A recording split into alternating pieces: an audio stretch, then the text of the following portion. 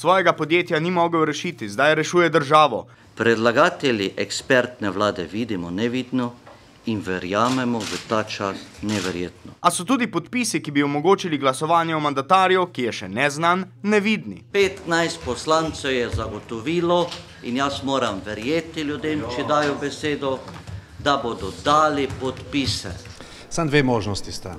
Ali se dela tako norca iz te države in iz tega državnega zbora, ali pa bo zanimivo gledati, kdo so te podpisi in jaz upam, da jih čim prej razkrijem, ker Iz vaše poslanske skupine ni nobenega. sem jaz nobenega več ne dam roko v ogenj. 15-terica pa naj bi obljubila podpise, čeprav sploh ne vedo, kdo naj bi bil ta mandatar. Verjamejo, da bom predlagal kompetentnega kandidata. Ob tem se je marsikdo vprašal, ali bi bilo možno poslancu oduzeti mandat zaradi opravilne nesposobnosti.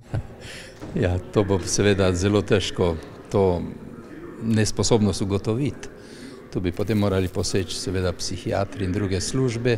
O tem se mora potem poslanec odločiti sam, da gre na uh, pregled in ko ugotovi, da ni sposoben, jaz sem prepričan, da bo dal samo od, uh, odstopno izjavo. Ne. Ne samo, če je opravilno nesposoben, tudi za kakšne druge primere bi mogel poslancu mandat prenehati. Izjave poslancev niso povezane z nobenim konkretnim poslancem, gre za hipotetično vprašanje.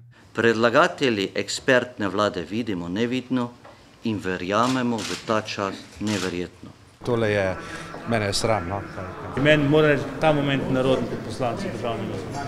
In naravnost neverjetno bi bilo, če bi Vogrin in druščina iskali mandatarja samo, da bi še nekaj časa dobivali poslansko plačo in kasneje višje nadomestilo.